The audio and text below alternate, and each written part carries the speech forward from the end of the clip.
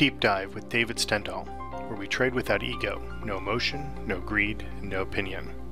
Before we begin tonight's video blog, please read over our trading disclaimer and remember to trade smart and accept the reality that trading futures is risky. This presentation does not provide buy sell recommendations, and our information is strictly provided for educational purposes only. As always, trade at your own risk and analysis. Hey, it's David Sten with tonight's deep dive. It is September 18, 2018. I'm going to take a quick look at uh, soybeans today, uh, the ETF being SOYB. Now, anybody that's been trading soybeans or tracking this market knows quite well that it's been in a downturn uh, for quite some time, a bearish phase here.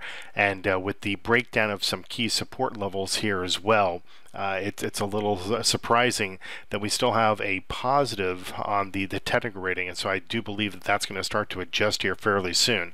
Now, it's not all bad. We're not severely oversold yet, and so I suppose that there's an opportunity that the market uh, can base here. But uh, what we're basically seeing is just great difficulty for the the market as a whole to really hold any support levels. This is a weekly bar here for soybeans, and you can see that uh, with this bar right here, this is this week, and we broke below. It's not super strong, but you know, nonetheless, we broke through some uh, support to the market on a weekly bar basis. It's even more pronounced if we look at daily bars. That's what these are. This is the major support, a 41, which is very, very strong for the support level that we always have here.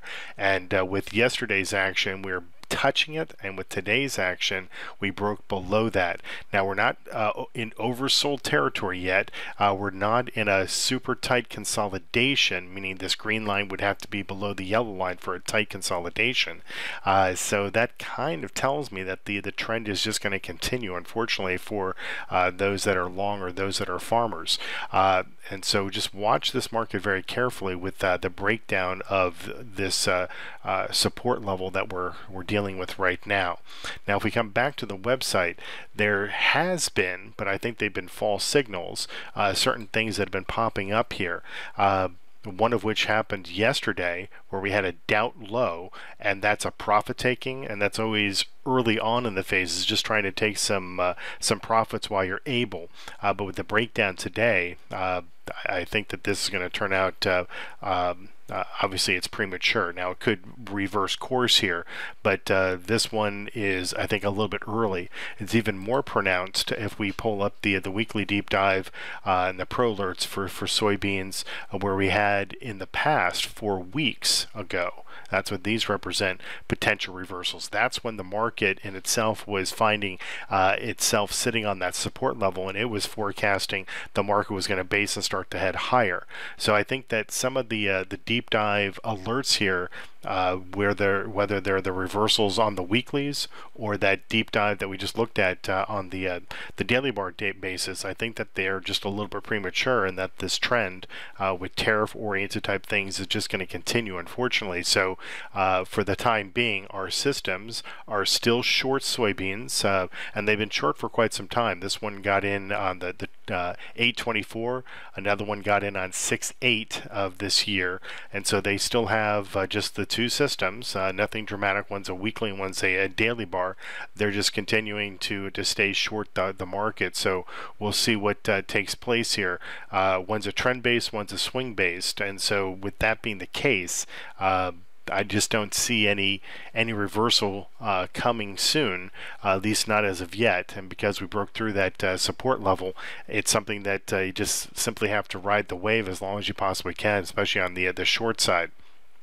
The uh, the strange thing is, and I know this is kind of uh, off the beaten path here, but we do a futures market madness. And what we do is the uh, orange represents the previous month. And what we do is we rank the different markets and we have them compete to, uh, against one another. And so I just want to show soybeans uh, was down substantially last month. And so it was up against the Russell. It was barely up for the one week that it went up against, uh, but it was able to beat the Russell.